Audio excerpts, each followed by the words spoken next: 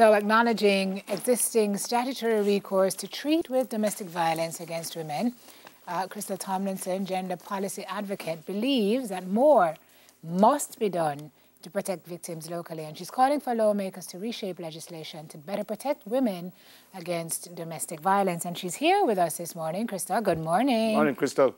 Hi, good morning, Neville. Good morning, Simone. Thank you so much for having me. Good morning to your viewers. Happy Monday. It's good to see you. Happy Monday to you, too. The stats tell us that one in four women here have been through, um, have undergone, have experienced domestic violence, which is really a frightening stat. I think we've been talking about this and how to eliminate and all the themes in the world that we've come up with. What are we doing wrong, Chris, to be able to address this?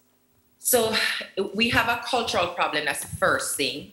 And no matter how you change the laws, if you don't change the culture, it's going to be a very long walk to freedom. Um, we we think domestic violence is still a man and woman issue. So if the man and the woman say we're working on it, you know, pray for us, we, we're working on it. It communicates to the community, to the police, to the prosecutors, to the law, leave this alone then because they are working on it. Um, we don't take it upon ourselves to report it because it's man and woman teams. We're going to stay outside because next thing you know, them wrap up again together and then back into the house.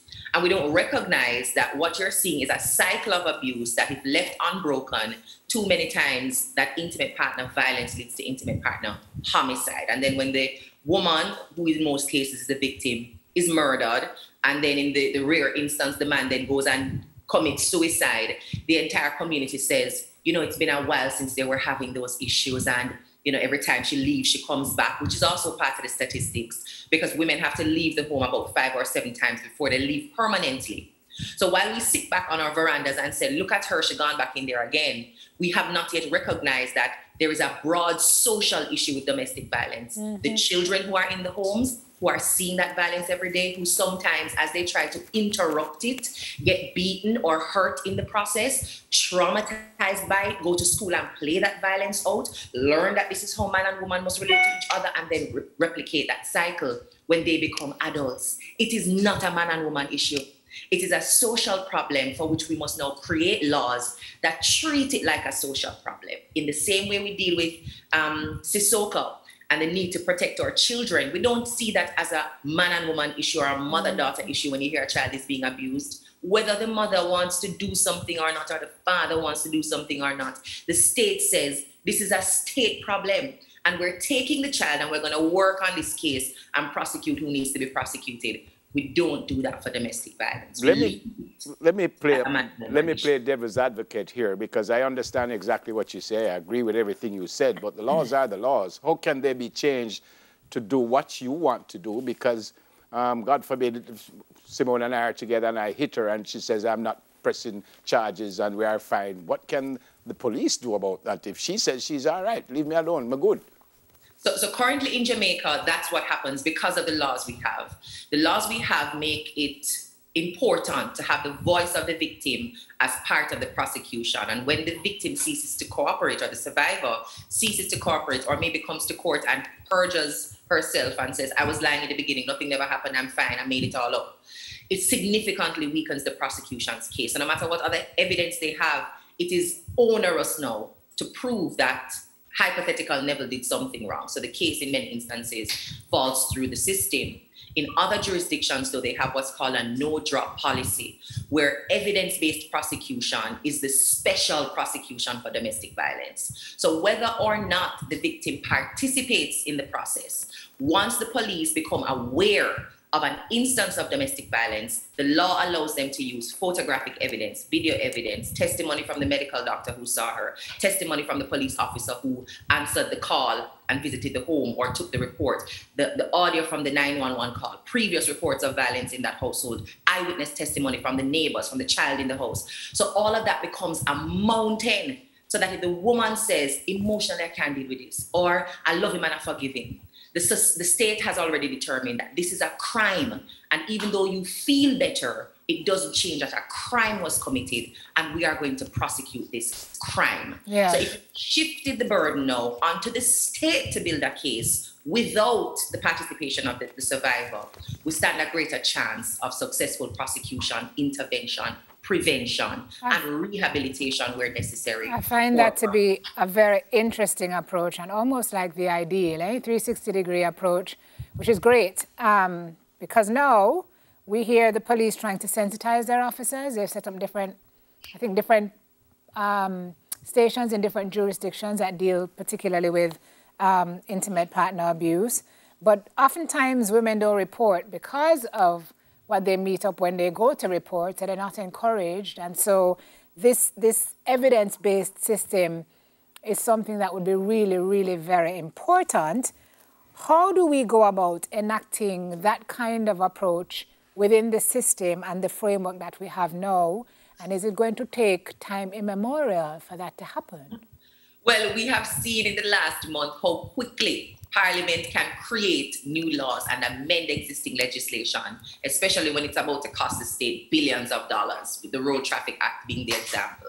Mm. We've seen it happen before with NIDS. We've seen it happen before with the um, extension of public states of emergency. So we know when there needs to be quick um, legislative action in Parliament, it can happen. Um, recently, MP Heroy Clarke tabled a motion that in order to reduce domestic violence, one of the things he's proposing is mandatory paternity testing with the moving of a motion in Parliament that brings it up now for debate, for a vote on it, and then for the necessary um, legislative steps to be taken after. Now, I would ask someone else in the House to think about the women who are abused, who did not give a man a jacket women who are abused, who don't even have children with their intimate partners. We need a law that protects them now. And I would I would challenge a, a member of the House over the next 16 days of advocacy against gender-based violence to raise that motion and bring it to the floor for discussion. Um, the amendment would most appropriately um, be placed, in my opinion, not as an expert at, at this, as part of the existing Domestic Violence Act that we have. So thankfully, we do have an act that deals with domestic violence, but it does not handle this matter of prosecution, just the protection order for the woman to um, be safe and distant from her abuser, um, and the occupation order that allows the the survivor to remain in the shared home, especially if, if, if, they have children in the shared home with the child. So those are two important things that happen under the Act but we can definitely strengthen that. And I, I want to make a quick point. I, I know the need to sensitize police is important because they too have become desensitized by the issue. Desensitized because, as um, Novelette Grant, former acting commissioner of police, shared.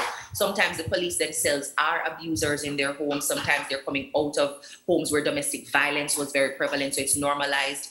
And they also know that about 90% of the reports they take now by the time it gets to the first court date, the woman is no longer cooperating. Yeah. So, for, for several reasons, they are desensitized and need to become hypersensitive to this. And a special prosecution arrangement would allow that. And some of them abuse themselves, yeah. are abused themselves. By the way, abused themselves. Yes. By the way, how do you feel about how do you feel about what Mr. Clarke said? Um, I think it is a, a dangerous correlation but again, I can't fight him for having his perspective and his exposure to the issue. I don't think he laid in bed I just dreamed up that domestic violence could be related to um, an, absence of paternity for children.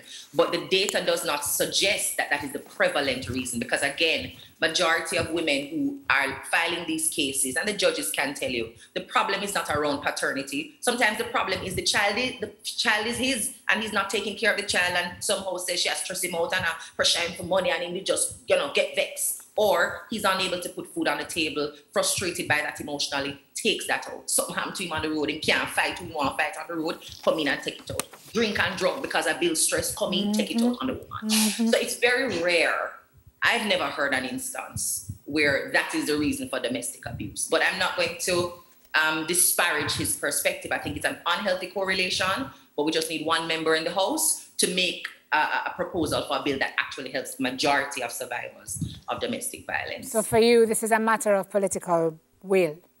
It is. It is. We just have to want to do it the way we wanted to change our Road Traffic Act um, recently. Good to see you, my friend. Stay safe. God bless Thank you. you. Have a great day. Thank you. Yeah, All right, Chris. 16 days, um, as you heard.